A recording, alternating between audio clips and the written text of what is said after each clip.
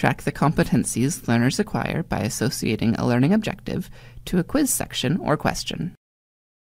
This tutorial shows how to associate a competency to a particular quiz question.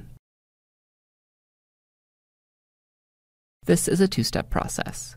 First, we will associate the learning objective with the quiz question, and second, we will enforce the assessment method within the competency.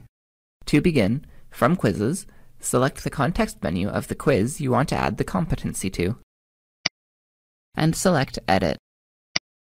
Click the Objectives tab, then click Associate Learning Objectives. Click Expand Node for the competency structure you want to associate, and select a learning objective. Then, click Add Selected. Next, to link the learning objective to a specific question, click Associate Questions. Note, you can also link learning objectives to sections. Navigate to and select the question you will tie the learning objective to. Then, click Associate Questions. Click Save and Close. For the second step, navigate to the Competency tool. From Competency Home, click the learning objective you associated with a question to edit it.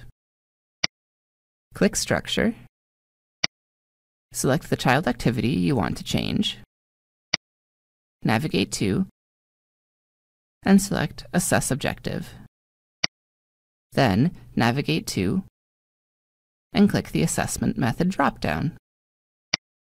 Select Score on selected questions.